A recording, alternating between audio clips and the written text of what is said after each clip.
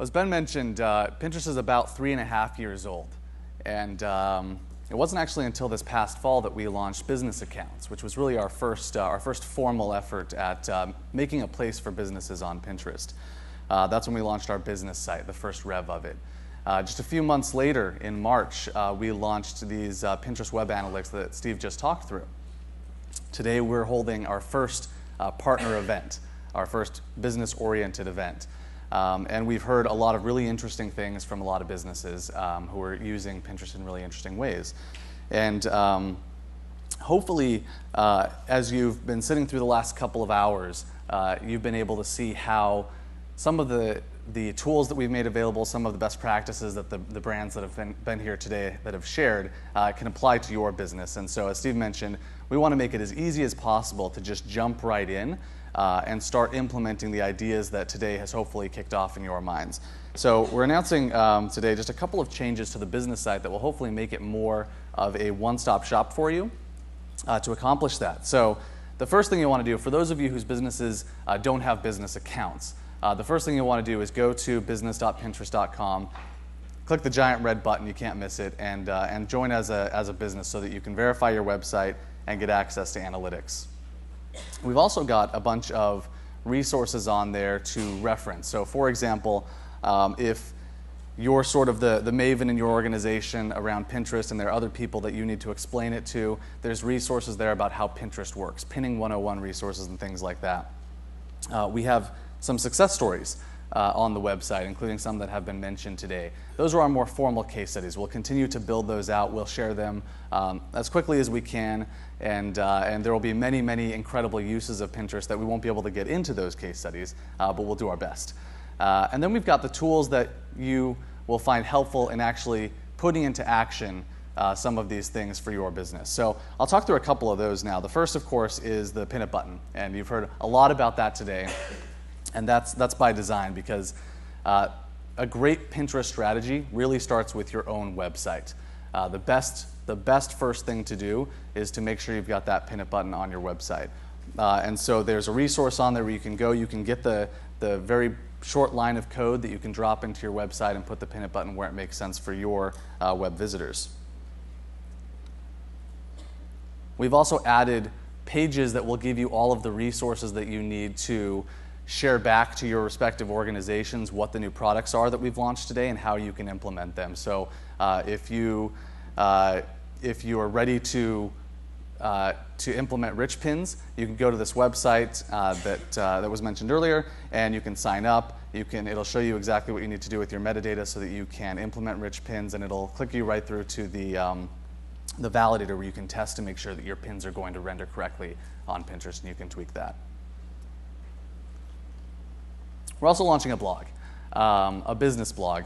And the reason for that is because, uh, as, as Steve's mentioned, we're a very small partner team at Pinterest. And uh, there's a lot of enthusiasm here. There's a lot of brands that are doing really interesting things on Pinterest. And uh, we want to be able to share out those learnings as quickly as possible. One of the roles that I see our team predominantly taking on is basically keeping tabs on all of the great things that a lot of you guys are doing and then sharing them out to the rest of you in real time so that we, as a community of people who are trying to build out the interest graph in a way that makes your businesses more discoverable, because a lot of the things that people are looking for on Pinterest are the things that your businesses offer. And so, uh, this blog will let us share out in real time some of the interesting uses that we're seeing for Pinterest, some of the interesting best practices that we're seeing in real time, in a bit more uh, quick and, uh, and, and, and, lower um, lighter weight way than, than just the formal case studies. So look for best practices to come through here. Look for industry insights for your in- industry as we continue to learn and see interesting things being applied uh, in the different verticals, ranging from retail to electronics to uh, many that we haven't talked about today specifically.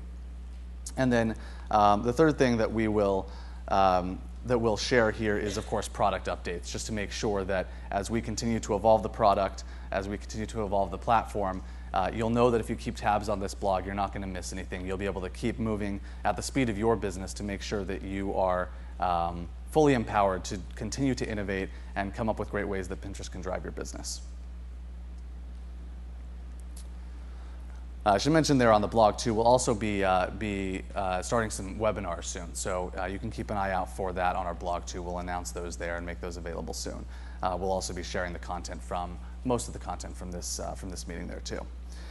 You've also all received this morning in your shopping bags a, a Pinterest for Business guide. This is our first stab at best practices. Uh, hopefully, it's a little bit redundant because you've heard a lot of those best practices from uh, the brands that have been responsible for innovating those today. Uh, so I, I see this as very much, and can't emphasize enough that this is a living, breathing document. It's going to change, it's going to evolve, and I think when we do a new, a new version of this some months from now, there will probably be things from the people in this room that we'll want to incorporate into that. So I'm really excited to see what you guys all come up with and how we can scale that out to the broader business audience uh, through that best practice guide. I'm going to take a couple of minutes now just to walk through some of uh, what I think are the most important uh, and potentially less obvious of those best practices, which I, think are just, uh, they were very insightful to me when I joined Pinterest, and I can see how important they can be to businesses. Uh, so we'll talk through just a couple of those. Um, and this site is also going to be available on our business site. So if there are other folks in your organizations, agencies, if there are clients that you want to point this to, uh, point to this, you can just go uh, point them to business.pinterest.com. So one of the best practices that you'll see in that guide is uh, more granular uh, direction on how to use the pin it button on your website. And uh, one of the examples of a brand that has done this remarkably well um, is WikiHow. So WikiHow is a website where you can go and you can discover tons of tips on how to basically live your life. Everything from creating a temporary tattoo with a ma- magic marker to kicking a soccer ball uh, to all kinds of home and DIY and how do you tie a tie and all of those things. So it's really interesting. And because it's so vast, because they have so many articles, it's really interesting on a very personal level. There are some things that I find interesting, uh, and people who share interests with me will also find those interesting. So if you can make it really easy for me to pin those back as a reference for later, for example, how do I tie a bow tie? I've tied a bow tie just a couple of times in my life, uh, but it was a total pain to figure out how to do it what I did. So that's really useful to be able to pin that someplace where I can reference it later. And other people who follow me or any of my boards might find that valuable too. So if, if you can figure out a way to make it as easy as possible for the people who are consuming your content to pin that content back to Pinterest, it's going to help make your business much more discoverable and result in tons of referral traffic. In fact, uh, Pinterest is the highest referral traffic driver for WikiHow of all the social platforms, driving about four times as much referral traffic as Facebook. Uh, but on top of all of that referral traffic, which is great, there's the huge brand building opportunity as well. So when you think about making it possible for people to share individual pieces of content in a way that is very authentically relevant to them, in a way that reflects their interests and might uh, be interests that they share in common with lots and lots of other people, you can imagine how as that content gets discovered and repinned over and over and over, it ripples out across Pinterest and results in tons and tons of impressions, which have huge branding value. So, in fact, WikiHow uh, sees 3 million impressions per day on Pinterest, which is pretty massive. Um, so that's the power of the pin it button. That's why we emphasize it so much here today, because that really is the foundational level to every great Pinterest strategy. Now, that isn't to say that there isn't room for custom content that's created specifically for Pinterest. And in fact, we've heard uh, some of that today from some of the partners that have spoken. Um, I, I see the pin as a creative canvas, much in the way that I see a blank page in a magazine as a creative canvas. I think the analogy there is very compelling. If you think of a magazine ad or a print ad in general, uh, the creative challenge, the marketing challenge, is basically to take a message and distill it into something that is usually highly visual and can communicate in a simple image emotion, a compelling message, and drive attachment to the brand. Uh, so, this is one of my favorite print ads from recent years. It's for Mercedes Benz, and I think it perfectly captures what Mercedes, Mercedes is trying to communicate um, to its audience. It's this, uh, this coming together of the left brain and the right brain. It's a beautiful image, it's compelling, it's interesting. And of course, it's also very pinnable. Uh, and this, this image is actually all over Pinterest. I had uh, no trouble finding one of my favorite print ads on Pinterest. Um, so if, if you can figure out uh, what kind of images, what kind of uh, messages are resonating with your audience, and deliberately create content that is specifically intended to be shared in this ecosystem that either provides utility for people so they can reference it back when they want to go do these things in their real lives, or that align enough with people's interests that they collect them into these collections that we call boards, or if uh, they can be so self expressive that people think, hey, this is something that I find very interesting, and I'd like to actually share this out to the people who follow me because I think that they'll find it interesting too. You can tap into all of those human emotions that come into play when somebody is using Pinterest as a pinner. So, speaking of the, uh, the potential for individual pins to uh, continue to ripple across Pinterest, this is one of the most pinned products from uh, Whole Foods, or the, one of the, the most repinned pins from Whole Foods. This is for spicy spaghetti squash with black beans. It's been repinned 68,000 times.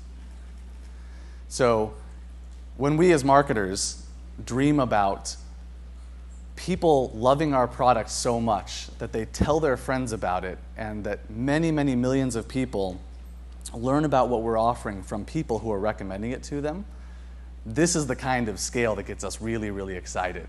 Imagine how many impressions you could get if 68,000 people repinned your content. Uh, and this is where um, I just want to come back and build one more point on, on what Steve was talking about with, uh, as it relates to contests earlier. Contests can be a great part of your Pinterest strategy. Uh, the one thing that I would add to what Steve said um, that you should consider is the impact that that will have on repins. Because, of course, getting people to pin your content is step one. That's a drop in the water. But if other people repin it, it ripples and ripples and ripples out through more and more people, and it's more valuable to more people and helps your business get more and more discoverable. So I've done some analysis into this, and sometimes uh, a, a contest will get people incentivized enough that they feel compelled to pin something that maybe isn't perfectly aligned with their interests. Maybe it isn't authentic or true to how they're really using Pinterest in the day to day. You might get that drop in the water. You might get a significant volume of pins. But you might not get those repins because Pinterest and the interest graph that we're trying to build um, is all about people sharing and pinning and discovering these interests that they have in common with other people. So, just one more thing to bear in mind as you think about how the pins themselves represent your business on Pinterest. Another thing to consider here is, um, is the, the different interplay between boards and the pins that comprise those boards. So, boards are a great way to organize your content. They're a great way to structure your Pinterest strategy and help you figure out what kinds of things you should be pinning. Uh, and there is a tendency to think about them as a destination because, especially those of us who have grown up in digital marketing, that's what we're used to doing. We're used to creating experiences that people come to. Uh, and I would just caution uh, not to overly emphasize the design of the boards themselves at the expense of how you think about how those pins are going to live as they're repinned individually. Think about that eggplant or that uh, spaghetti squash pin from, from Whole Foods. If they had really spent a lot of time to create this perfect, maybe creative, like stacked meal of all these, you know, it was all of the dishes and everything, and they intended it to be a, a um, sort of a destination that people experience on the board, that would represent a very, very, very small percentage of the people who experience that pin because the vast majority experience it through the repin. Um, so there's other interesting ways, I think, of leveraging Pinterest as a creative platform uh, beyond just customizing those boards to look creative and interesting. And one of those is to pin your product or your content alongside other inspirational content that helps to round out your story. So, this is just an example that I pulled together. Let's say, for example, that I sell women's coats. I could just pin my coat, uh, the coat that I'm offering for sale. And that might be great because there are certainly people who are looking for winter coats of all fashion across Pinterest. But I could also make that a more inspirational story by, by pinning it alongside some inspirational winter scenes of the types of things that I could do if I could get out and enjoy winter and be warm. Um, so this is an example of that. You can imagine pinning a car, a product image of a car, or pinning a product image of a car where it's surrounded by, uh, by highway vistas and the things that you can do with that car. The people who follow you will experience that in, your, in, your, in their feed, uh, but most people will still experience these as individual pins. And so it's important to think about how those individual pins will carry on through Pinterest and through the repin cycle. So when you're thinking about what kind of content you're going to pin, one other uh, best practice that a lot of businesses have seen be very successful is to pin stuff not just from yourself uh, or your business, but to pin the types of things that inspire you. And I think this is a really, really important one because as you think about it, Pinterest is organized and the interest graph is organized in such a way as to try and make it as easy as possible to find people and boards that reflect your interests because then the people who are curating those boards are uh, are they're out there trying to discover new things for them that simultaneously helps you discover the things that you love. And so it can not only help serve that utility and you provide value to people by sharing other things that inspire you, but it can really help to round out uh, the brand story and get beyond just the products. The products that you sell are the end game of your business, but there's so your business stands for so much more. It has so much more history, so much more personality. And uh, this can be a compelling way of building that emotional connection with people and helping them see what your business stands for. So that's why we recommend that. One other thing that I think uh, differentiates Pinterest significantly from other digital platforms is the fact that uh, a pin on Pinterest can be discovered and rediscovered and pinned and repinned weeks and months and potentially even years after the initial pin. And this is very different from what much of digital focuses on today, which is very much this is what I'm doing right now. This is my commentary on what's going on in the world right now. And then we, as, as marketers, try to get our content into that stream before it passes by and expires. So as you think about the kind of content that you're going to Pinterest, uh, going to pin to Pinterest, just bear in mind that it's evergreen. Uh, it has a very long shelf life. Uh, you may not need to create as much content uh, because you may not need to have something uh, to say about every current event that's happening. Uh, and your content may continue if you really invest in it and make it and, and, leverage the insights and the analytics and really build it into the type of content that's going to be more, most useful to your audience, it can endure and continue to resurface over and over and continue to, rip, to ripple over and over.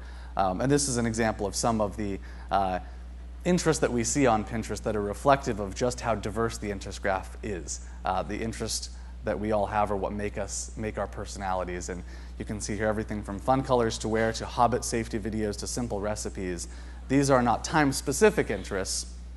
Certainly, our own interests might evolve over time, uh, but people will always be interested in these things and always looking to discover more things uh, that they love.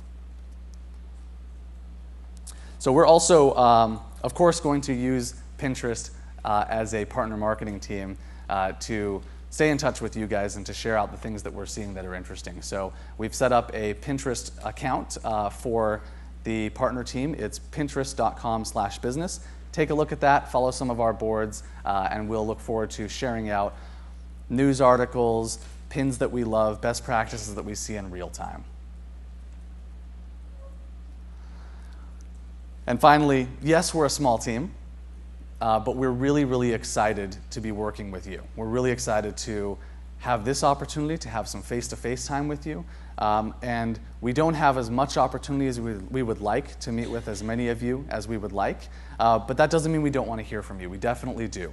Uh, so we've put a contact form up on business.pinterest.com, and we hope that you'll use that to stay in touch, to let us know what's working well for you.